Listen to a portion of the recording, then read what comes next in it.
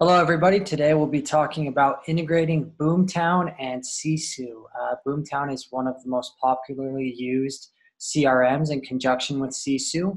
Uh, we have a really strong integration here provided uh, through two different partners. And uh, first, I just wanted to talk about why you would want to integrate Boomtown, what some of the advantages are, and, and as of today, which is uh, the 8th of May 2019, what is possible through a Boomtown integration. And this is something that we're continually working on.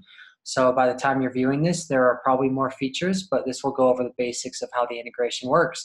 So the idea is, is you have thousands of leads in Boomtown.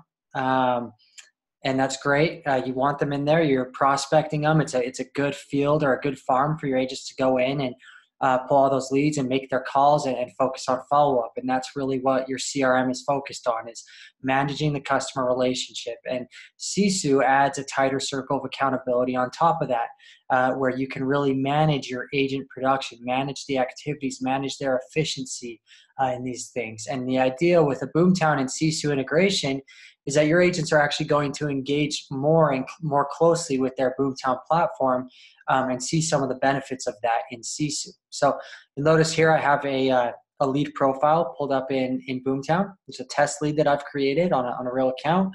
And um, we have uh, a dashboard here. So the idea is that contacts uh, can come over. So if I log a call in Boomtown, I just hit the phone and uh, I hit talk to prospect. Uh, that's going to log a contact, and if I and it will also log a dial.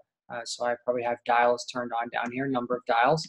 So we'll log that that I attempted and that I successfully spoke with somebody.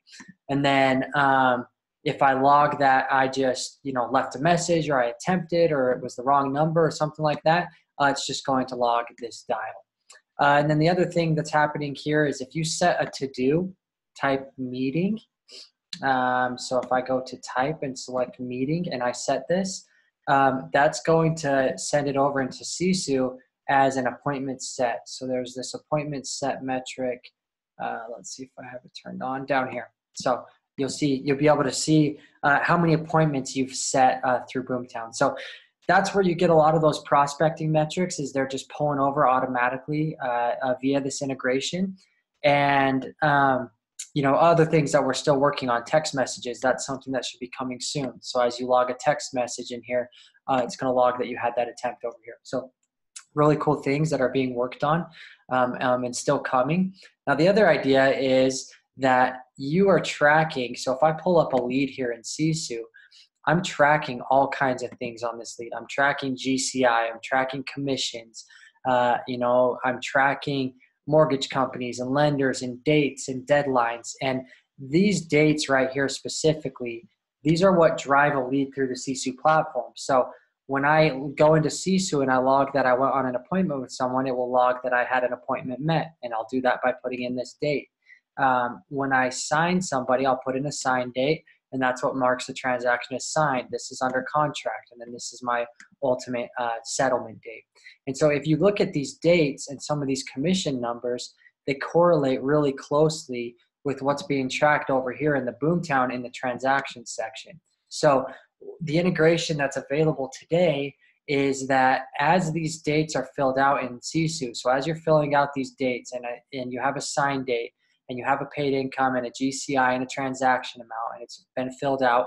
Uh, the other part of the integration is that it can go back into Boomtown and create this transaction for you and fill in some of the different items here. So if I have a seller, um, you know, looking at this, it's going to pull in the address and the city and the state and whatever you have in Sisu but specifically this price and commission amounts and some of these, you know, listing dates, expiration dates, those will come over from Sisu and create this transaction in Boomtown. So it's actually going to keep your Boomtown up to date uh, just by managing it through Sisu. Now, one of the thing that's things that's coming very shortly and may be available by the time uh, you're watching this video is a way for your agents to come in here and create, for example, a pre-listing or create a active listing or a uh, you know pre-contract for a buyer and having these dates flow over into Sisu and populate, you know, these different dates that actually drive a transaction through your system. So really cool things that are coming. Right now, it's going Sisu back into Boomtown.